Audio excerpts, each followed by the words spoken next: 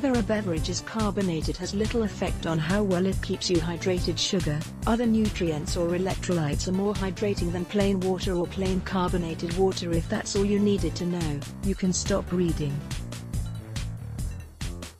But if you want to know why, enjoy this cool, refreshing glass of explanation.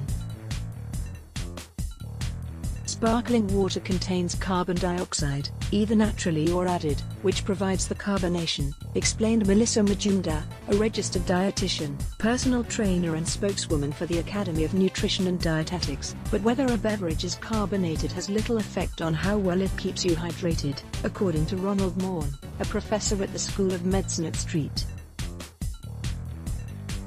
Andrews University in Scotland and author of a recent study comparing the hydrating effects of beverages including still water, sparkling water, milk, colas, juice and coffee.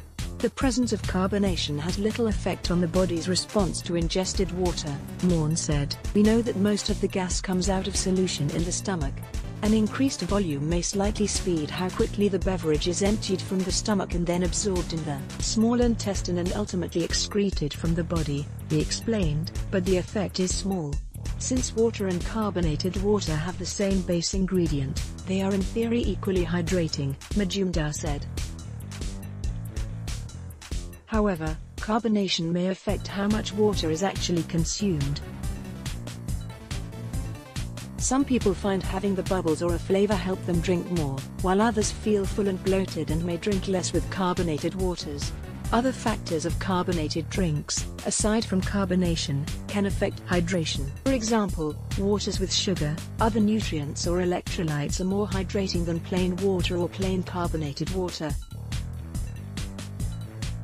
Adding large amounts carbohydrates or fat, such as natural sugars in orange juice or the fat in milk, will slow gastric emptying, Maughan said. Additionally, sodium, aka salt, in beverages acts like a sponge to hold water in the body. Potassium has been less well studied than sodium, but there is some evidence that it can also help promote water retention in the body, according to Maughan. So athletes who sweat a lot might be better off drinking lightly sweetened beverages or drinks with electrolytes, but not necessarily carbonated beverages.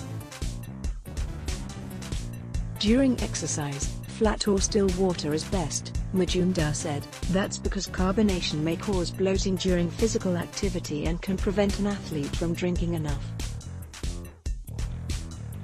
Non-carbonated water is also best for anyone recovering from gastrointestinal surgery or for patients who feel full sooner than normal, Majumdar explained. Lisa Drayer is a nutritionist, an author and a CNN health and nutrition contributor.